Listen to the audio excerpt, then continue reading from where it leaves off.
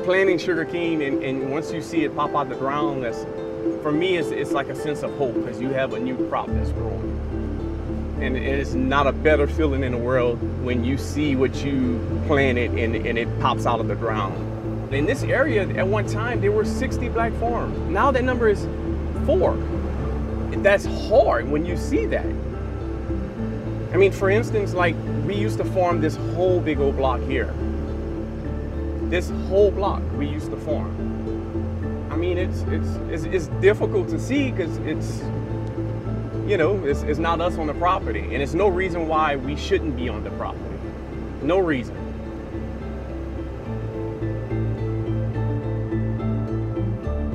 Farming for black people is the oldest occupation for us in, in the United States. We went from slaves uh, to, to, to sharecroppers, uh, surviving the horrific laws of Jim Crow, all of these things that we had to endure. Angie and June are just such wonderful, salt of the earth people. They ran this sugarcane farm in Iberia Parish, and they were some of the few remaining black farmers in, in the country, and particularly in Louisiana. When June was working as a farmer, he won awards for the, for the crop that he made every year. You would think 5,000 acres, I would have been okay, but actually, I wasn't. Within 10 or 15 years of award winning crops, he was bankrupt lost the farm, lost everything. Um, and the, the other parties in this litigation said that he was just a bad farmer. I mean, I contemplated suicide because I, I felt like I lost everything. The loans that were involved in, in the Provost family and what ultimately led to the destruction of their business were FSA guaranteed crop loans. For sugarcane, you, you need at least six to eight hundred dollars per acre. So if you do that times five thousand acres, I mean you, you're you're looking at almost a four million dollar crop loan that you need to farm that adequately. The USDA was approving like just about a million or a little less for him. Ultimately, the deck was stacked so much against them that there was almost no way that they could succeed, and they didn't. His USDA guaranteed lender was photocopying his signature to farm loans and lowering the approved amount.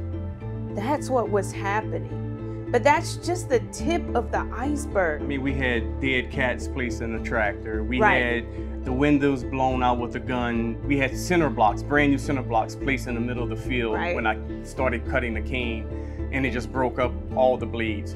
I mean, they wanted us out of farming by any means necessary. But, you know, we, we made the decision to fight back though.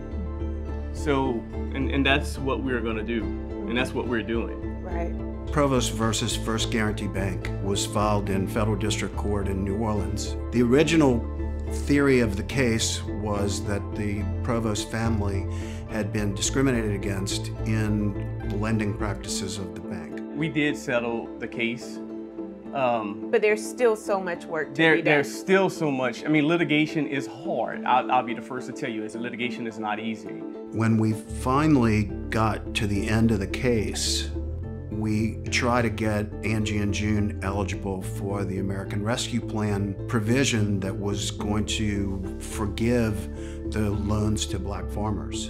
And ultimately, that, that was going to be the success of the claim that they made. The American Rescue Plan provision for the loan forgiveness has been stayed by various federal courts.